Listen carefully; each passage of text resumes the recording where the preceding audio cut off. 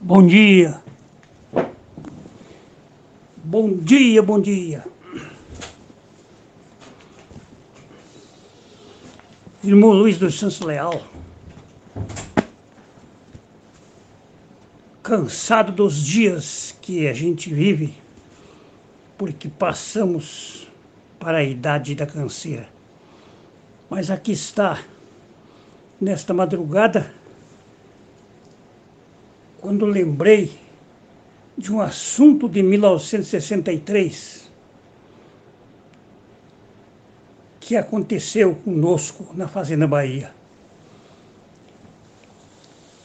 É um retrato e uma fotografia santa dos acontecimentos de Atos, capítulo 2.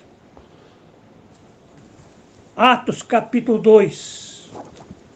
Bom dia a todos. De repente veio do céu um som como de um vento muito forte.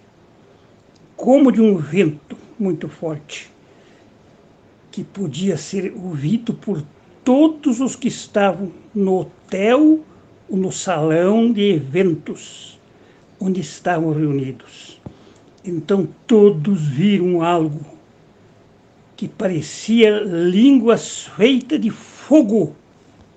Este é o assunto.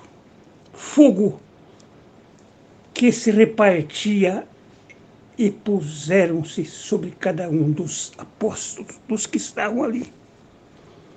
Meus irmãos, ouvintes que ouvem,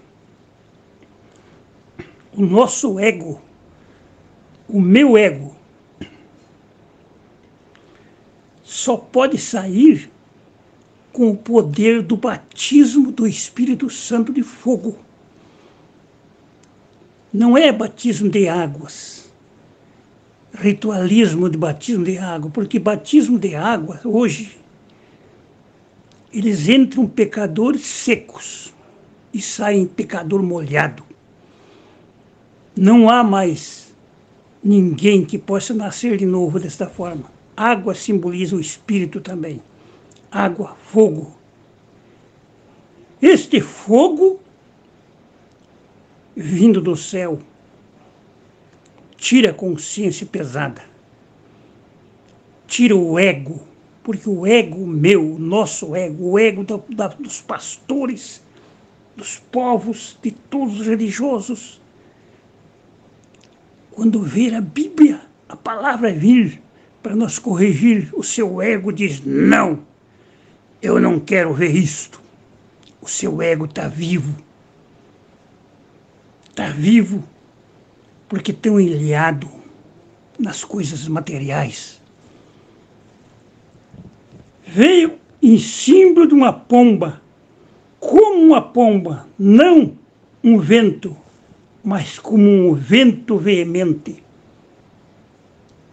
Não encheu a casa mas foi ouvido na primeira Bíblia dos termos da festa dos, da semana onde a Páscoa estava, os judeus estavam prosseguindo a Páscoa. Os judeus que falavam grego estavam ali na Páscoa. Então,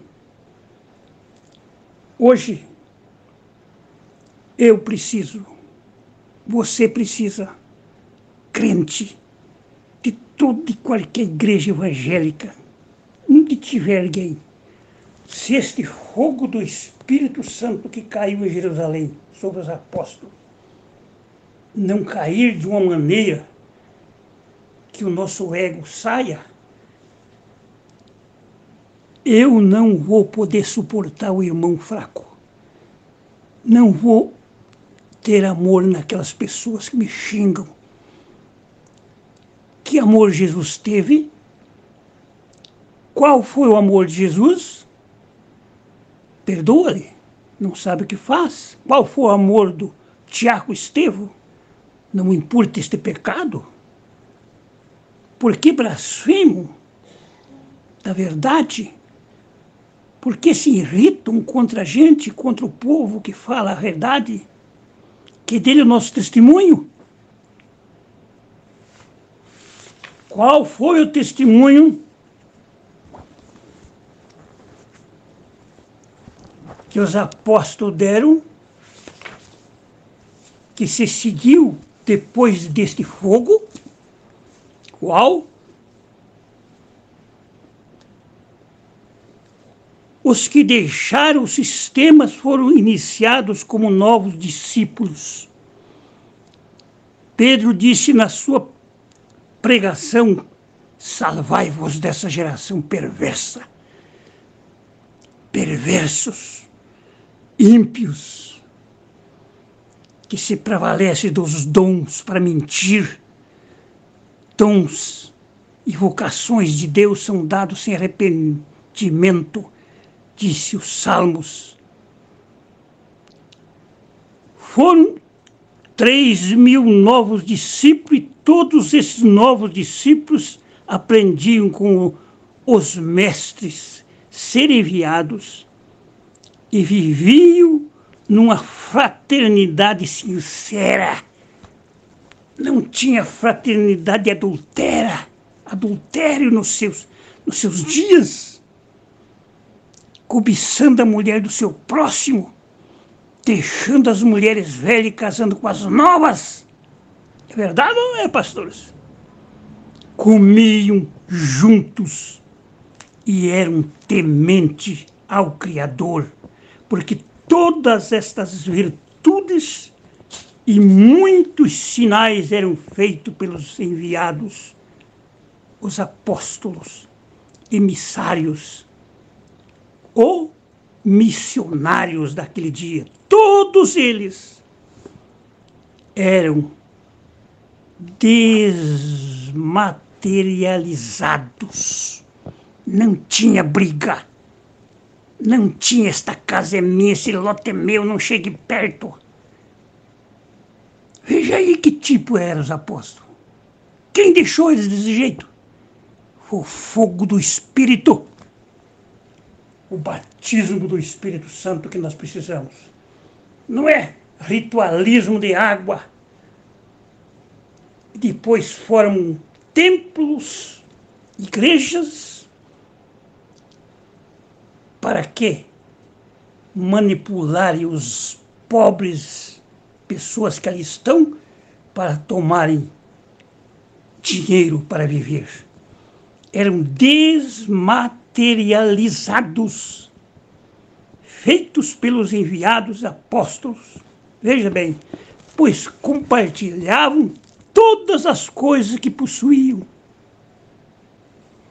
Vendiam seus imóveis e outros bens para que o favor, para que o valor desses de, de, fosse distribuído para aqueles que precisavam conforme a cada um tinha necessidades. E eles eram todos os dias, vinham todos os dias, assim como o nosso Supremo Mestre Jesus, ao pátio do templo para se reunir e ensinar. Não ia dentro do pátio, dentro do templo, quer dizer, mas iam para ensinar no pátio. Glória seja Deus! Eu preciso disto. Este é o testemunho nosso testemunho é que vai valer. E para valer o testemunho tem que haver fogo.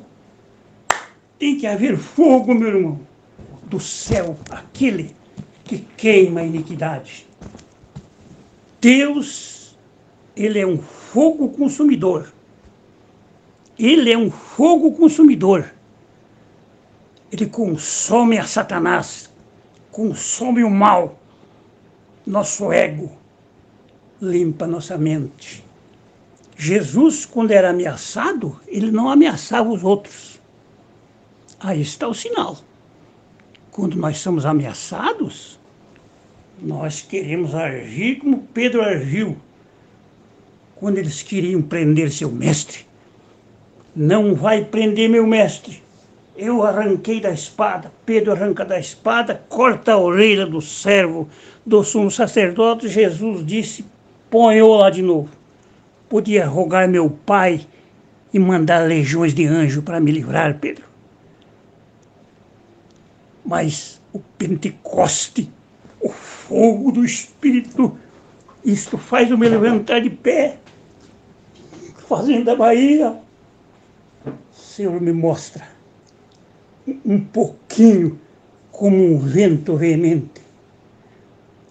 Estávamos em nossa família reunida, desanimados, cansados, mas o Espírito disse: fiquem tranquilos, porque no cantar do galo eu vou alegrar vocês. Eu estou falando com experiência própria, com experiência que Deus nos mostrou. De repente, veio como um vento veemente naquela salão daquela casa de madeira onde nós morávamos aqui em Campo Mourão, nessa região. Como um vento veemente.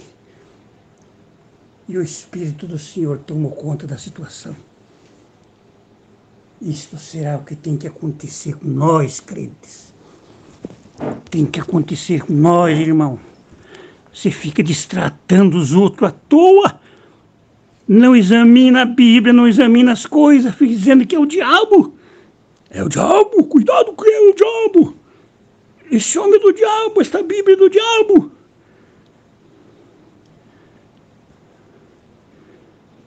Deus, queime o meu ego agora.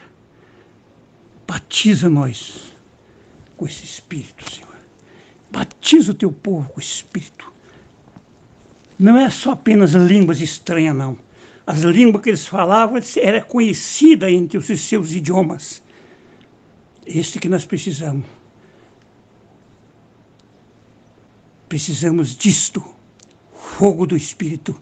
Batismo do Espírito Santo, Neia. Batismo do Espírito Santo. É fogo. Fogo de Deus. Que deixa eu leve. Posso perdoar os outros posso amar os outros. De outra maneira, eu serei um pecador, não sou digno de entrar no reino de Deus. Mas estou aqui, e este fogo está queimando já no meu coração. As minhas iniquidades, a minha consciência queima, porque o Espírito do Senhor tem que estar dentro de você. E se Deus está em você, você não rejeita a verdade. Não fica com incredulidade, zombando da verdade zombaram, estão cheios de monstro, Pedro. Mas Pedro disse: não, não é o que vocês estão pensando, sendo esta terceira hora do dia, mas isso para cumprir o que o profeta Joel falou. Derramarei do meu espírito sobre toda a carne. Agora chega o tempo de Paulo por ordem na coisa. Vamos? Que Deus nos dê fé para isto misericórdia para isto. Saudação aos queridos irmãos e a todos que nos ouvem nesses 15 minutos falado. É fogo, nós precisamos de fogo, batismo do Espírito Santo é fogo. A outra coisa não serve, é ritualismo para levantar a igreja e dar dízimo ao povo, enriquecer pastores. Precisamos de fogo que faça nós voltar ao original, ao que eram os apóstolos. Em nome de Jesus Cristo. Saudação a todos. Amém.